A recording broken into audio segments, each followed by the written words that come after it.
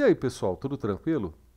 Então a gente vai continuar agora o nosso curso de PHP CLI falando sobre o envio de textos para saída. Mas qual saída?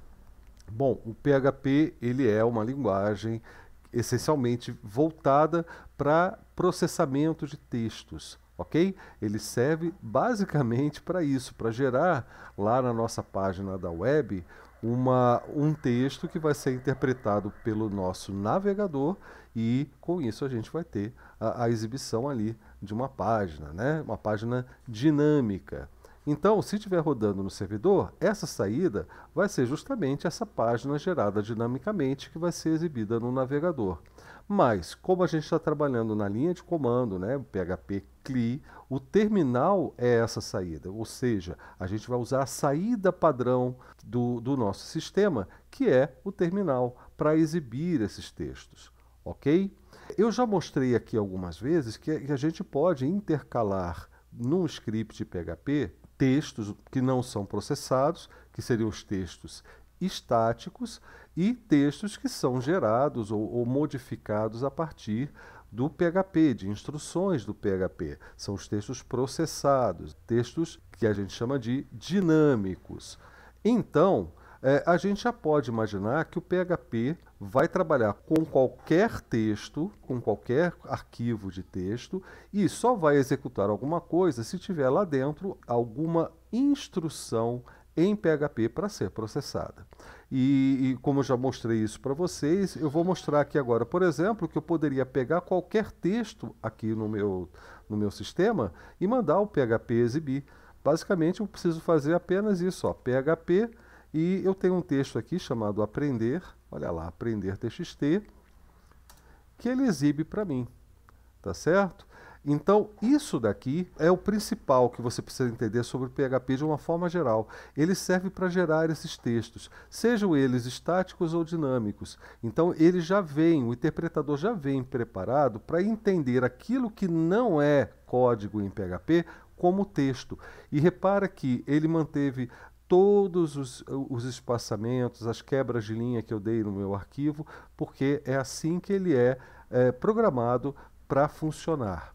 Mas a gente tem também a, alguns construtores de linguagem, algumas funções que servem para exibir textos também. Elas não processam o texto exatamente. Algumas até fazem algum trabalho com esse texto, mas de uma forma geral, a finalidade desses recursos, que a gente vai ver aqui a partir de agora, é exatamente exibir o resultado de um processamento de, desses textos todos. E a gente vai começar com esses dois construtores de linguagem, que são o echo e o print, que servem exatamente para isso, para exibir um texto, uma string, mais exatamente, lá na nossa saída padrão, aqui no caso do PHP CLI eles fariam a mesma coisa se estivessem rodando no servidor, só que esse texto seria exibido numa página gerada dinamicamente lá na web. Então, dito isso, eu quero mostrar um scriptzinho que eu fiz aqui. Eu vou usar o meu editor Nano para abrir o, o script 01 Echo, que é exatamente o que a gente vai usar para falar sobre o construtor de linguagem Echo, para vocês verem que interessante que é a coisa. Veja bem, eu tenho aqui a minha shebang para dizer quem é o interpretador, PHP, está tudo certo. Logo aqui no comecinho eu criei uma função para me ajudar a, a, a, a, rolar esse texto na tela de uma forma mais interessante. Mais para frente a gente vai ter uma aula sobre isso daqui, mas eu vou explicar que basicamente que eu estou criando essa função para fazer o que? Para é, esperar, para pausar a execução do meu script e esperar eu teclar Enter. Tá? Então, basicamente, foi para isso que eu criei essa função aqui logo no começo. Mas veja, está entre as tags PHP né, e aqui interrogação. Então, é, isso aqui vai ser processado pelo PHP. Isso aqui vai, vai dar alguma saída de texto? Não. Isso aqui não vai dar nenhuma saída de texto. Existem funções, existem instruções que não vão exibir nada. E existem aquelas que vão exibir alguma coisa. E uma delas que a gente vai ver agora é o eco. Repara que depois dessa, dessa instrução em PHP eu tenho um texto puro, que vem até aqui, ó. daqui desse, dessa frase até aqui embaixo, eu tenho um texto puro. E repara que nesse texto eu até estou escrevendo aqui uma instrução que seria uma instrução válida em PHP, mas como não está dentro das tags do PHP, isso aqui não vai ser executado.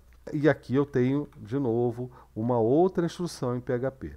Então repare que eu posso fazer esse, essa, esse entrelaçamento de textos estáticos com textos dinâmicos para decidir o que, que vai ser exibido lá na saída padrão.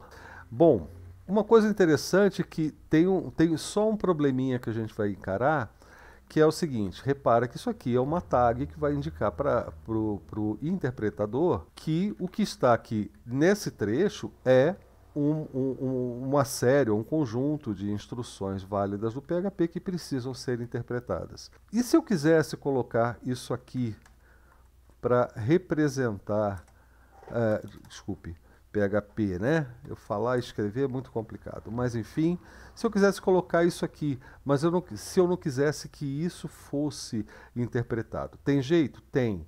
Mas se eu colocar aqui pensando, sem pensar nisso, eu vou ter problemas porque isso aqui também vai ser interpretado, tá? Então a gente só tem que tomar cuidado com isso. Uh, e aliás, essa é a única tag que a gente precisa tomar cuidado aqui no PHP CLI, porque é, é, ela faz com que o que estiver aqui dentro seja interpretado como, como instrução do PHP. Então, a ideia é essa, tá? Só vamos tomar cuidado quando uh, esse texto contiver tag do PHP. Existem formas da gente driblar isso, mas não é o assunto da gente hoje. Então eu só vou dar esse recado e a gente vai ver isso em outras oportunidades. E talvez fique até para você pesquisar aí e, e, de repente aqui nos comentários você vai é, é, compartilhar com a gente. Você pode vir compartilhar com a gente o que você tiver descoberto a respeito. O importante que eu quero que vocês vejam é isso. Ó, tem um texto estático misturado com texto gerado dinamicamente e a gente vai usar isso para conhecer o construtor de linguagem eco e também o print, ok? Então deixa eu sair daqui e vamos limpar a tela e vamos começar a falar sobre o eco já usando o nosso script. Então tá aí. O construtor de linguagem eco vai exibir uma ou mais strings e não retorna valores. Essa frase parece muito simples, mas ela tem um monte de informação. Como assim exibe uma ou mais strings? É porque o eco é, é, no eco, você pode utilizar a vírgula para separar trechos de strings que você quer que ele exiba. Uma string no PHP, ela sempre vai estar entre aspas e a gente já vai falar sobre isso. Pode ser aspas duplas e simples, como vocês estão vendo aqui, mas a gente já vai falar sobre isso. Então, é, de uma certa forma, você pode entender que o eco está recebendo aqui uma, duas, três strings e está e, e vai exibir todas elas de uma forma concatenada. O que, que significa concatenada? Significa grudada uma na outra, ligada uma na outra, uma atrás da outra, tá certo? É nesse sentido. Então vamos ver se isso funciona, porque como vocês já viram, eu tenho o código em PHP, exatamente esse código aqui, para a gente executar, basta eu dar Enter. Então tá lá. Olá, eu sou um texto dinâmico. Fez exatamente o que eu pedi. Inclusive, o barra N aqui representa uma quebra de linha e você viu que houve essa quebra de linha e o cursor parou logo abaixo da frase, certo? Dando Enter para continuar, a gente vai ver que o eco ele não gera quebra de linhas. Por isso que eu sou obrigado sempre no final, quando eu quero uma quebra de linha, obviamente, a especificar isso seja através de um caractere de controle ou de outras formas que a gente já vai ver. Olha aqui, ó.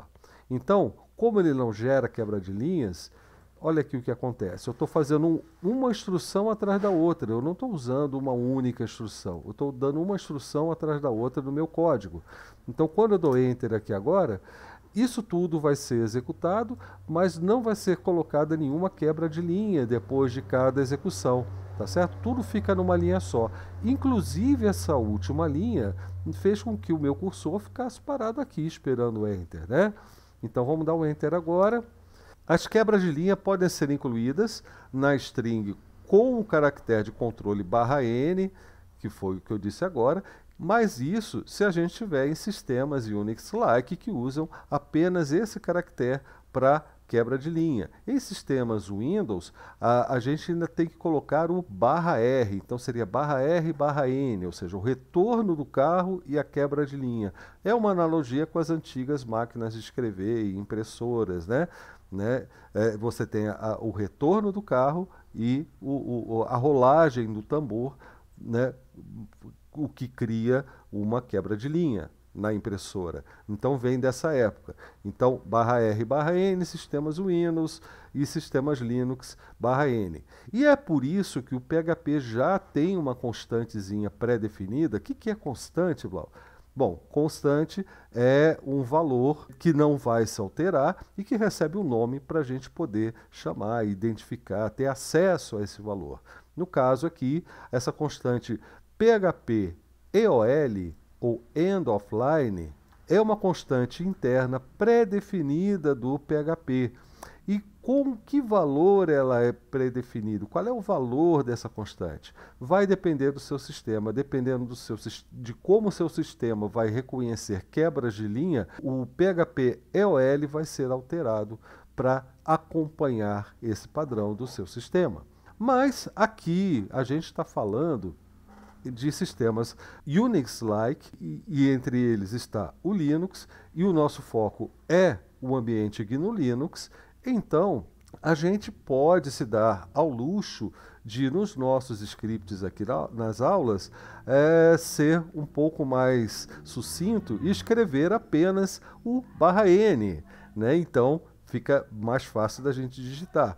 Mas como eu já falei para vocês, né? Aqui a gente está querendo é, criar bons hábitos e tudo mais, né? criar memória muscular, mais do que criar bons hábitos.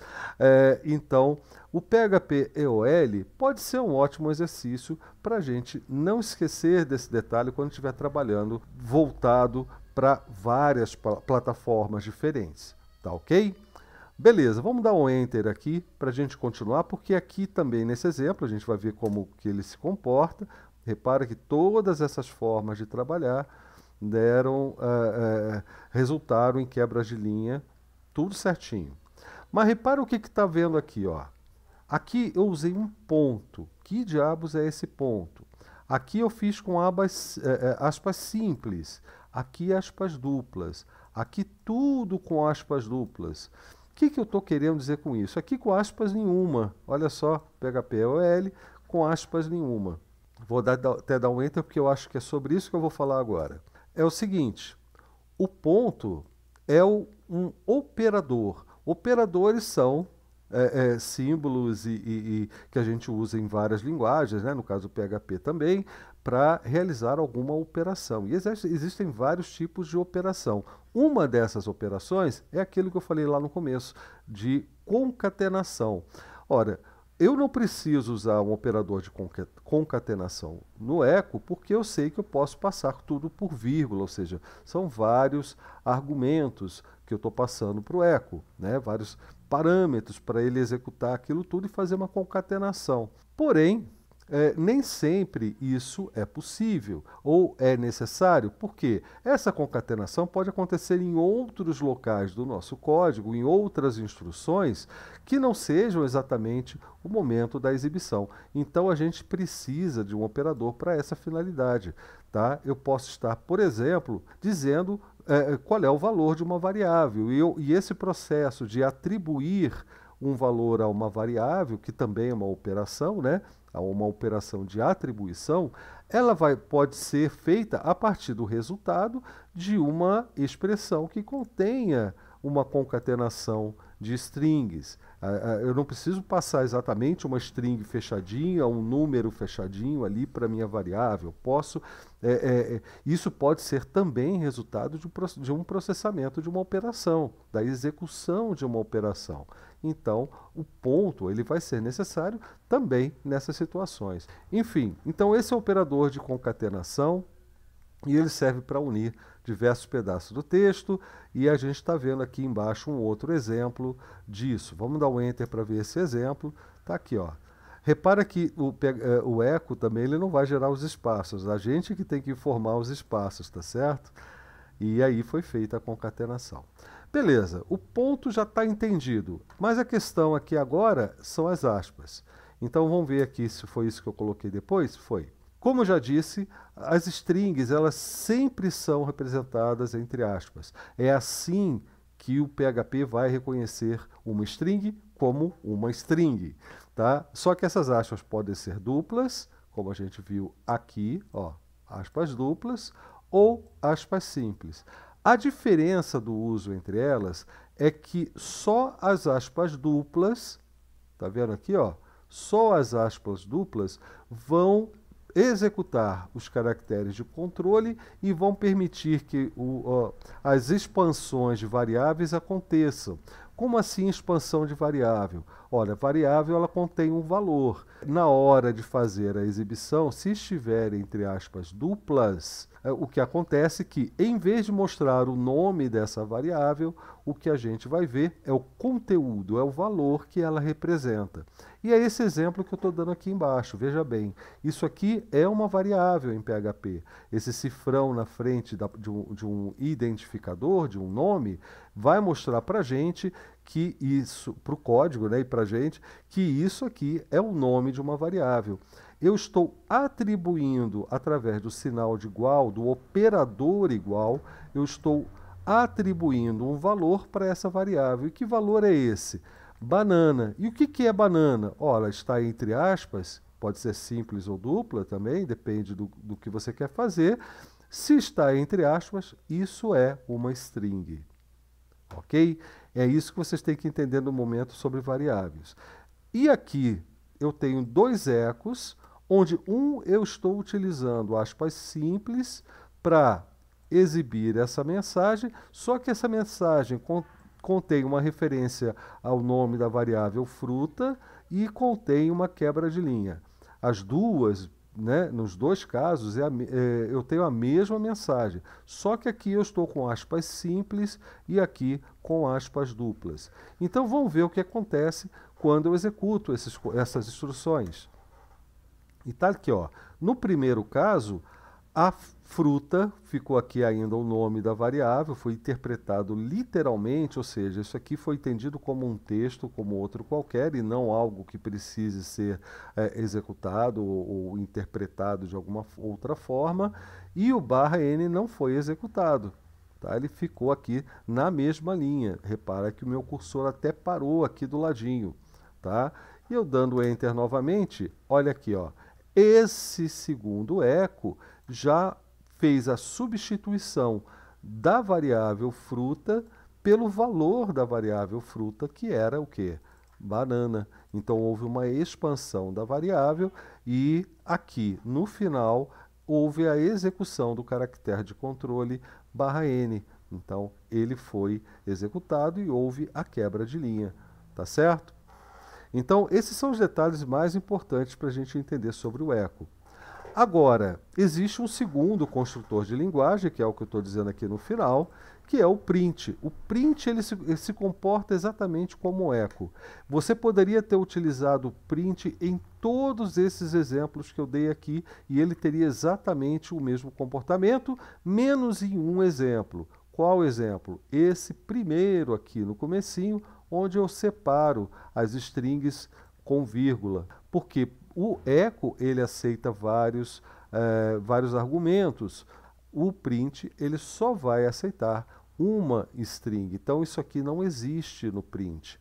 Mas fora isso, todos esses outros exemplos podiam ter sido feitos com print. Outra diferença, e isso eu só vou mostrar na próxima aula, que é o seguinte: Uh, o eco ele não retorna valor e ele nem pode participar de expressões. Como assim? Uh, eu não posso pegar o, uh, e colocar aqui que, que fruta igual a saída do, do, do, da instrução eco, porque não existe essa saída e dá inclusive um erro de sintaxe se você tentar fazer isso. Já o print ele permite que isso seja feito e ele retorna sempre o valor 1. É, evidentemente, existem limites para o print fazer esse tipo de coisa, mas, de uma forma geral, ele pode participar de expressões e ele sempre vai retornar o valor 1. Ok? Então, beleza.